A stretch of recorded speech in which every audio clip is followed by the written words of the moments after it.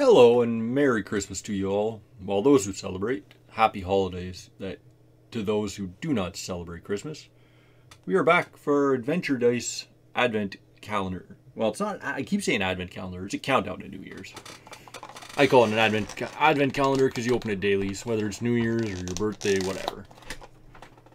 This day gives us a D6 in the white set that we were missing.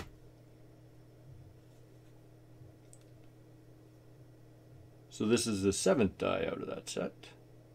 Should be all of them, which is awesome.